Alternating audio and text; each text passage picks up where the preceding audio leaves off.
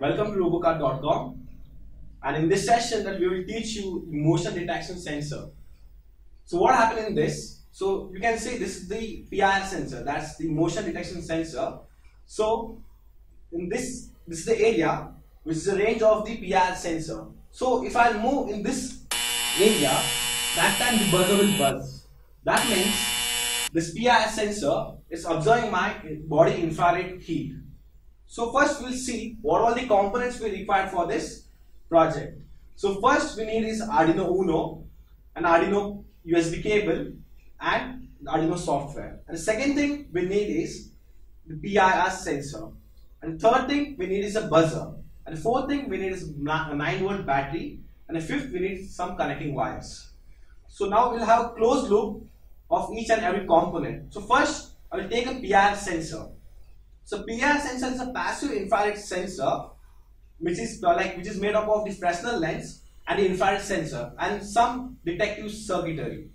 So what like it's having a range of 6 to 7 meters. So the first the first pin, the first pin is the VCC pin. That means the voltage pin. And the second pin is the data pin. That's the output pin. And the third pin is the ground pin.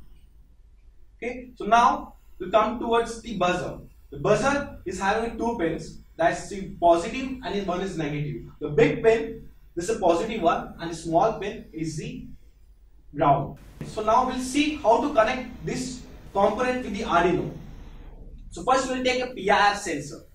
As I told you, the PIR sensor is having three pins: the v, uh, VCC, the output pin, and the ground pin. So this VCC pin is connected to the the 5 volt of my Arduino and this ground pin of this PIR sensor is connected to the ground of my Arduino. And this data pin this data pin is connected to the digital pin number 2 of my Arduino. So this was the connection between PIR sensor and the Arduino. So now we'll connect the buzzer to the Arduino. So I, as I told you buzzer is having two sides. It's a positive and a negative. So this positive. So positive will be connected to the digital pin number 13 of my Arduino and this negative will be connected to the ground of my Arduino. So this are all the connections. So if you don't want to give the supply from the USB cable, so that time you can use the 9 volt battery where the positive terminal is connected to the uh, Vin of the Arduino and the negative terminal is connected to the ground of the Arduino. So this is all about the connection. So now we'll move towards the programming part. As you can see in this program, in void setup I have taken two pin mode, pin mode 2 and pin mode 13 and pin mode 2 is input and pin mode 13 is output.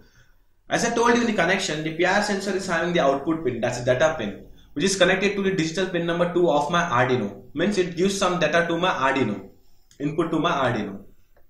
Now coming to void loop, so what happened here is, like when my PIR sensor is high, that time my buzzer should buzz. So I have taken one if condition here. In if condition, this digital read 2 is equal to is equal to high. Means when my PIR sensor is high means it's detecting some motion that time my buzzer should buzz.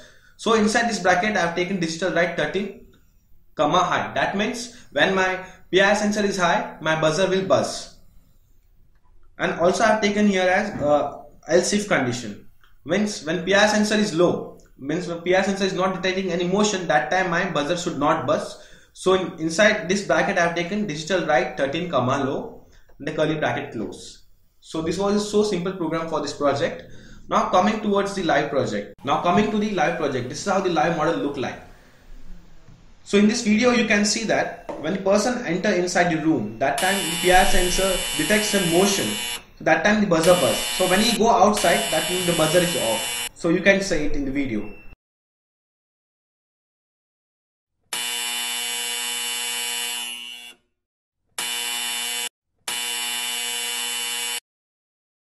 To watch more and more videos, please like and subscribe our channel that's Robokart.